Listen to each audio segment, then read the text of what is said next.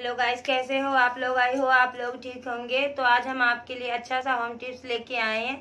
पिछला वीडियो में मैंने आपको दिखाई थी गुलाब के पंखुड़ी से स्क्रब करना दिखाई थी। तो आज हम आपको उसी से फेशियल करना दिखाएँगे।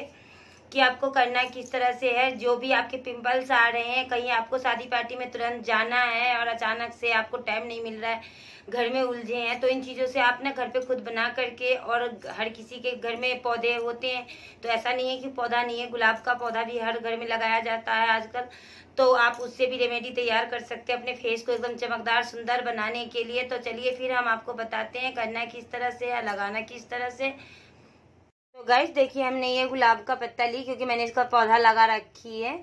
तो मैंने इसको सुबह से मैंने भिगो के रखी थी क्योंकि मुझे है, एक घंटा मैंने इसको भिगो के रखने के बाद देखिए कि इसका कलर कितना अच्छा हो गया है और इसका जो इसमें भिगो के रखी है, इसमें जो इसका पानी है, वो देखिए इसका कलर इस तरह से हो गया है। इसको हमें इस तरह से आप देख सकते हैं, देखिए। इसका सारा जो भी था, इसमें खूबसूरती का निखार देने के लिए सारे इसमें आ चुके हैं।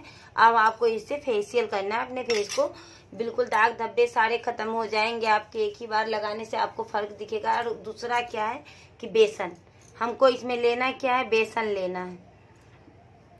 हम अपने फेस के अकॉर्डिंग आप बना रहे हैं। ये क्योंकि बना के रखना नहीं है, खराब हो जाएगी। इसे जब हम बनाएँगे हफ़्ते में कम से कम दो तीन बार आपको बनाने हैं। तो इस तरह से आप देखिए, हमने दोनों चीज़ को अच्छे से मिक्स कर लिया। और आपकी अगर स्किन ऑयली है तो आप एलोवेरा जेल डाल सकते हैं, क्योंकि यार एलोवेरा अगर ड्राई ज़्यादा ही है आपका फेस तो आप फिर इसे हनी डाल सकते हो।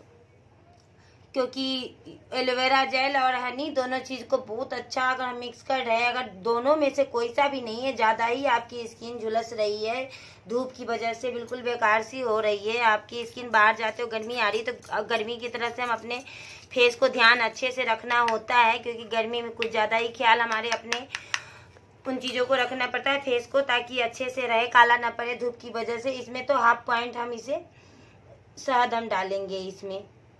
अगर आप नहीं है तो आप दोनों चीज़ को डाल सकते हैं। ज़्यादा अगर है ऑयली है तो आप शहद ना डालें। और अगर है तो फिर आप दोनों चीज़ को डाल सकते हैं, कोई दिक्कत नहीं है। इससे अगर हम दोनों चीज़ को डालें तो भी कोई दिक्कत नहीं, क्योंकि इन चीज़ों, शहद से जो हमारी चेहरे पर ना शाइनिंग अच्छी खासी शाइनिंग आ रही है। शाइनिंग आती है, और आपको यकीन नहीं करोगे, मैं अभी आपको अपने फेस पे लगा के दिखाने वाली हूँ कि किस तरह से इसका आपको एक ही बार लगाने से आपको फ़ायदा दिखाई देगा।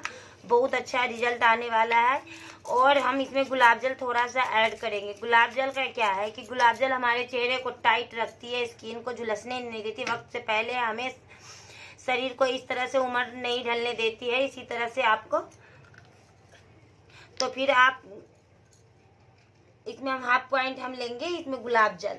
इन सारे चीज़ों को आपस में एक अच्छे से मिक्स करके हमारे फेस के लिए बहुत अच्छा अब हम इसको इस तरह से मिक्स कर लेंगे, फिर देखिए हम लगा के आपको अपने फेस पे दिखाएँगे। तो गाइस देखिए फिर तो हमारा ये मिक्स हो चुका है, अच्छे से हमने इसे तैयार कर ली है रेमेडी देखिए। और सबसे पहले आपको करना क्या है, पहले ठंडा पानी से आपको चेहरे को पहले क्लीन करना है, बिल्कुल जो भी ताकि गंद की डस्ट जमी हो आपके फेस पे अच्छे से क्लीन करना है आपको, इस तरह से। बिल्कुल धूल मिट्टी ना रहे और आप जो भी मेकअप अगर किए भी हो तो वो सारे खत्म हो जाएँगे। इसकी मदद से साफ़ करें। उसके बाद आपको हम लगाना बताएँगे कि इस तरह से आपको अपने चेहरे पर पूरे में लगाने हैं। और कम से कम दस मिनट तक आप छोड़ दें। इसको हफ़्ते में कम से कम तीन बार आप करें। आपको फेस एक बार में ही करने पर आपको इसकी रिज़ल्ट मिल जाएगी, अच्छी खासी।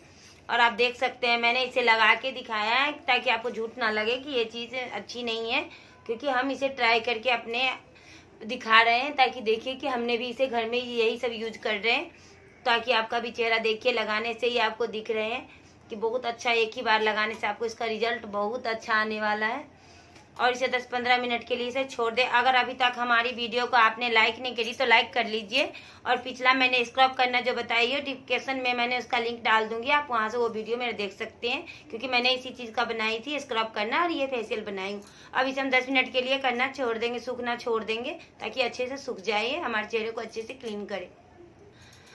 तो आप देखिए, हमारे ये दस मिनट हो चुके हैं, हमने अच्छी तरह से ये सूख चुकी है हमारी। अब इसको हम वही जिस कपड़े से मैंने साफ़ करी थी, उसी से मैं इसको अपने फेस को इस तरह से साफ़ कर लूँगी।